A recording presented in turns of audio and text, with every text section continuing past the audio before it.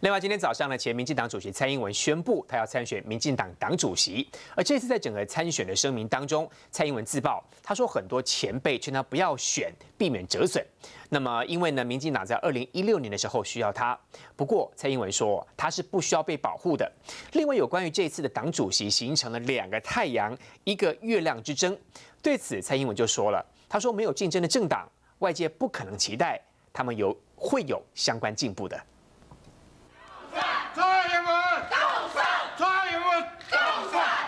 出席世台会活动，动算声不绝于耳。因为蔡英文上午选在小英基金会正式宣布参选民进党主席。今天我的参选不是要否定任何人，要重回执政之路，就必须再次唤起挑责任、扛重担的创党精神，争取胜选不能只是建立在人民对执政者的失望，而必须是人民对民进党的期待。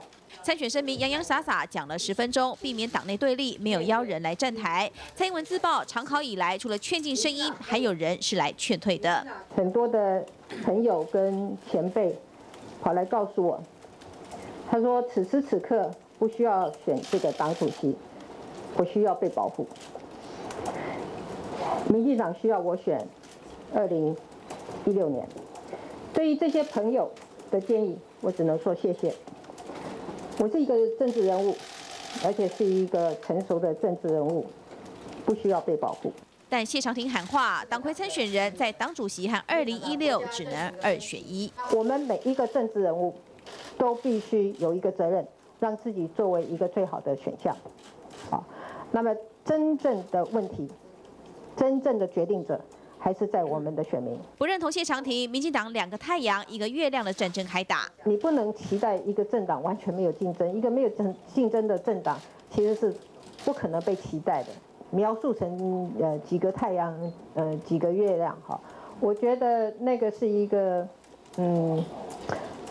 过于戏剧化的的说法了。有趣的是，这场参选记者会，蔡英文桌上的杯子就写着“蔡主席”英文，正是他担任党主席时的专用杯。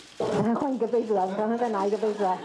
我，这是我上一次做主席的杯子。强攻党魁宝座，蔡英文展现势在必得的企图心。民事选举陈威宇、吕炯伟台北报道。